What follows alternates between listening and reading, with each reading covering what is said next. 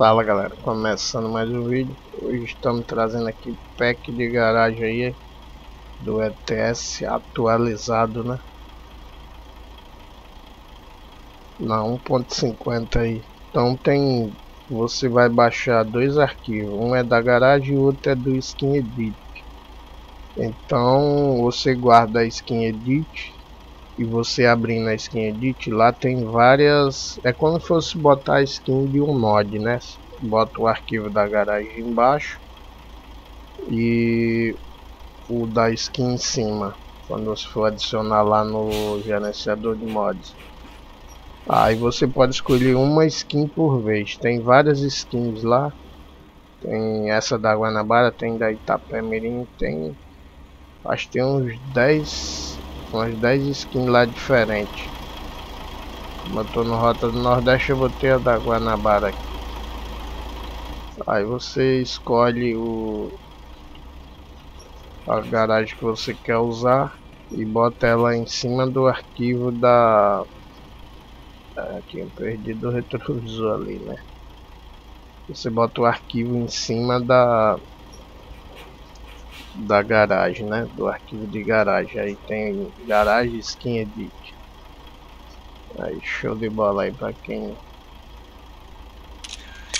quem quer jogar saindo de garagem tal, chegando na garagem. Bem show de bola.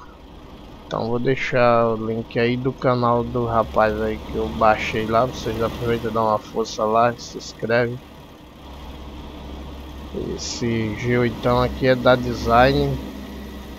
Tô com a versão beta aqui. É um Volvo, né?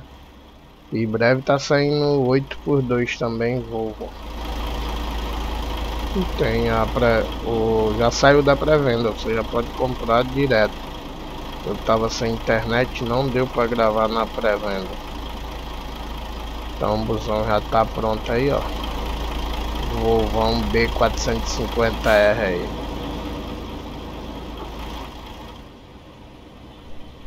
Então o mod de garagem vai estar tá aí no link abaixo, quem quiser usar. Só baixar aí, beleza? Vai ser direcionado pro canal do rapaz aí.